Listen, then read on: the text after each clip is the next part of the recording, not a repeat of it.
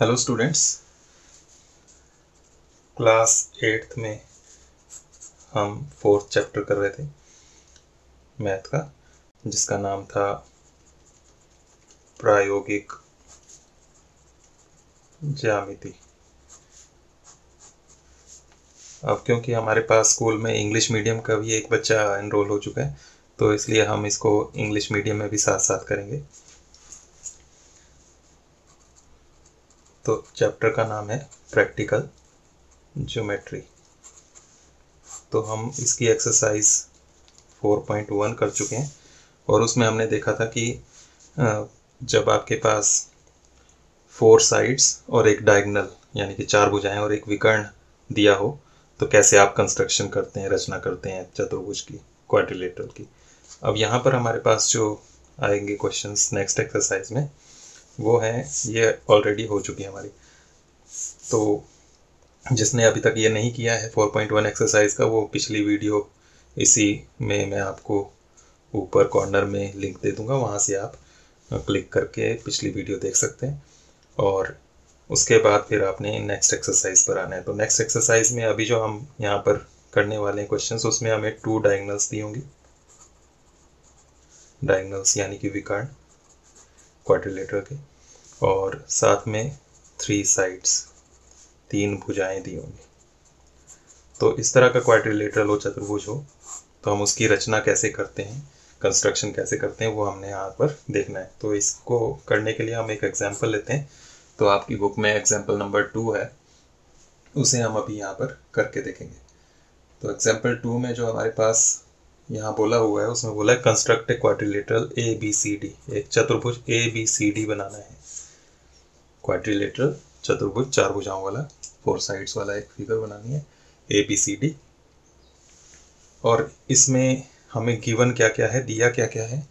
यहाँ बोला है B C four point five centimetre B C four point five centimetre है।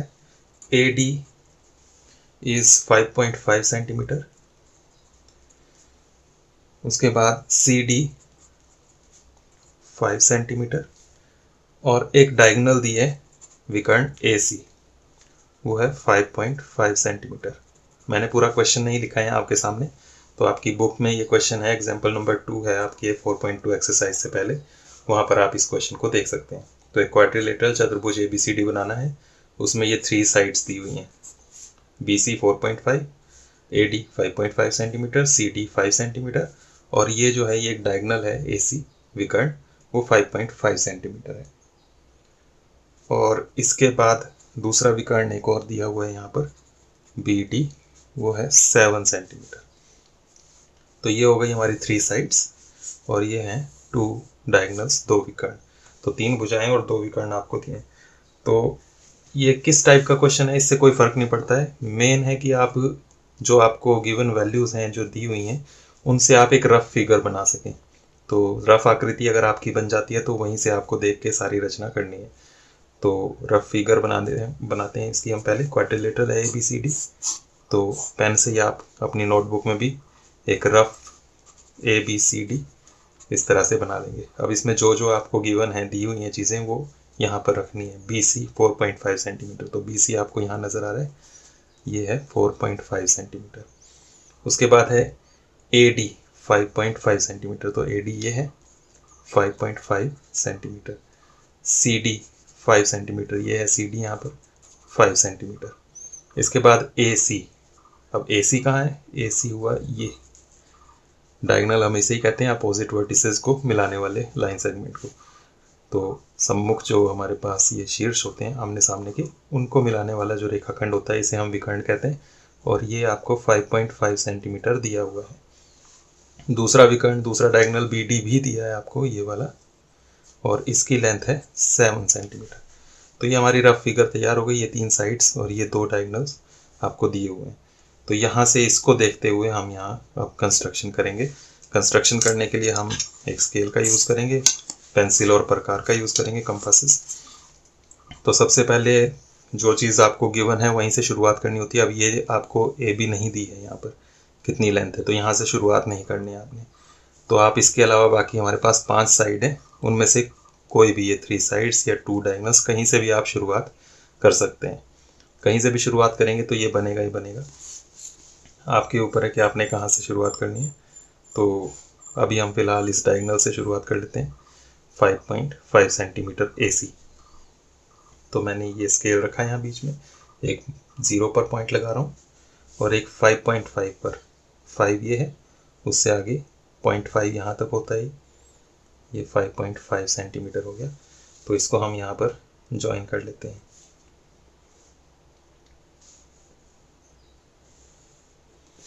ये है ए सी और इसकी लेंथ हो गई है 5.5 सेंटीमीटर तो हमारे पास दो पॉइंट्स तो ऑलरेडी आ चुके हैं। अब हमें सिर्फ़ दो पॉइंट्स और ढूँढने हैं बी और डी तो सबसे पहले डी देख लेते हैं कहाँ पर है। तो डी जो है, इसका ए और सी से डिस्टेंस हमें पता है। ए से, क्योंकि हमारे पास ए और सी हैं। तो ए और सी के हिसाब से देखना है कि ये कहाँ पर हो सकता है। तो ए से ये 5.5 सेंटीमीटर पर है और सी से 5 सेंटीमीटर पर है। तो ए से 5.5 सेंटीमीटर नाप कर आर्क लगाएँगे, चाप, और सी से 5 सेंटीमीटर का। तो इसके लिए आपने डायरेक्ट स्केल पे नहीं नापना इस तरह से, क्योंकि उसमें गलती होने के चांस रहते हैं। साइड में आपने पॉइंट्स लगाना है। एक ज़ीरो पर। ये ए से डिस्टेंस देख रहे हैं फाइव पॉइंट फाइव तो ये है यहाँ फाइव पॉइंट फाइव वैसे फाइव पॉइंट फाइव ये भी था तो यहीं से आप मेजर भी कर सकते हैं। तो यहाँ पर रखा और दूसरे को हम इस तक लेकर आएँगे पॉइंट तक। तो ये हमारा 5.5 सेंटीमीटर हो गया। यहाँ भी हम इसको नाप सकते हैं। अब ए से ये 5.5 सेंटीमीटर डिस्टेंस था तो ए पर हम प्रकार रखेंगे और एक आग लगाएँगे। हमें पता नहीं है किस साइड ये जाकर दूसरी साइड से दूसरे आग को कट करेगा तो इसको आप लंबा भी लगा सकते हैं। दूसरी साइड से सी से जो ये डिस्टेंस है, वो है फाइव सेंटीमीटर यहाँ से हमें फाइव सेंटीमीटर चाहिए। तो साइड में रख के फिर एक ज़ीरो पर पॉइंट एक फाइव पर। यहाँ प्रकार रखी। दूसरी साइड से इतनी डिस्टेंस तक हमने एडजस्ट किया और सी पर रख के ये आग लगा दिया, चाप लगा दिया। तो हम देख रहे हैं ये दोनों चाप जो हैं, यहाँ पर एक दूसरे को इंटरसेक्ट कर रहे हैं, काट रहे हैं दोनों आर्क्स। ये पॉइंट हमारा डी है। तो यहाँ पर हम डी लिख देते हैं और इसको ज्वाइन कर लेते हैं। ए से डी और इसी तरह से सी से डी अब हमारे पास पॉइंट बी रहा ढूँढने के लिए। तो बी का डिस्टेंस कहाँ कहाँ से दिया है? सी से दिया है आपको 4.5 सेंटीमीटर और बी का डी से दिया हुआ है सेवन सेंटीमीटर तो यही दो आर्क्स लगाने हैं आपको। तो 4.5 सेंटीमीटर ले लेते हैं। ये हो गया 4.5 सेंटीमीटर इसको हम कंपास में ले लेते हैं प्रकार में। ये हमारे पास आ गया। अब हमें ये जो बी है 4.5 सेंटीमीटर सी से था। तो सी से हमें आग लगाना है। लेकिन किस साइड इस साइड या इस साइड वो आपको ध्यान रखना है कि डी ए सी के एक साइड है और बी अपोजिट साइड है। दोनों अलग अलग साइड हैं। डी इस तरफ़ है बी इस तरफ़ है। तो डी हमारा ऊपर आया तो बी नीचे आएगा तो नीचे की साइड आपने आग लगाना है इस तरह से। ये हमारा 4.5 सेंटीमीटर का आर्क हो गया सी से। अब बी का दूसरा डिस्टेंस डी से है सेवन तो सेवन सेंटीमीटर हम नाप लेते हैं। ये है सेवन तो इतना हम इसको खोलेंगे। और ये D से डिस्टेंस है तो D से हम सेवन सेंटीमीटर का आर्क लगाएँगे इस तरह से। अब ये पहले वाले आर्क को काट नहीं रहा है, इसका मतलब हमें इसको आगे थोड़ा सा और बढ़ाना पड़ेगा। तो 4.5 सेंटीमीटर जो हमने नापा था, वहीं पर रख के इसको दोबारा एडजस्ट करेंगे। हम अपनी कंपास इसको सी पर रखेंगे और इसको आगे बढ़ा लेंगे। तो अब ये जो पॉइंट आया है ये हमारा बी है। तो बी से ए को भी ज्वाइन कर लेंगे। और बी से सी को भी ज्वाइन कर लेंगे। तो इस तरह से ही हमारा ये तैयार हो गया। इसमें बी डी आपको डिस्टेंस ये भी दिया था तो इसको भी आप ज्वाइन कर सकते हैं। तो सभी की मेज़रमेंट लिख लेते हैं अब हम। ए बी हमें नहीं पता। B C four point five centimetre ये C D five C D ये है five centimetre A D five point five centimetre उसके बाद A C five point five centimetre ये वाला. और साथ में बी डी ये है बी डी ये सेवन सेंटीमीटर तो ये आपका क्वाड्रिलेटर इस तरह से तैयार हो गया है. तो सेम इसी तरीके से आपने बाकी क्वेश्चंस भी करने हैं. आपको जो गिवन नहीं है, उससे शुरुआत नहीं कर सकते हैं। तो जो भी आपके पास साइड्स या डायगनल्स हैं, उनमें से किसी एक से शुरुआत करनी है। डायगनल से शुरुआत करते हैं तो अच्छा रहता है। डायगनल आपने बनाई, उसके एक साइड एक पॉइंट मिलेगा, दूसरी साइड दूसरा पॉइंट मिलेगा। तो इस तरीके से आप ये कंस्ट्रक्शन कर सकते हैं। जो भी गिवन वैल्यूज़ हैं, उनको मेजर करते हुए आर्क्स लगाते जाइए, चाप, और जहाँ जहाँ वो काटते जाएँ, वहाँ पर आप ज्वाइन करते जाइए, आपका क्वाड्रिलेटर तैयार हो जाएगा। तो अब आपके पास जो आपकी बुक्स हैं, उसमें आपने एक्सरसाइज 4.2 करनी है।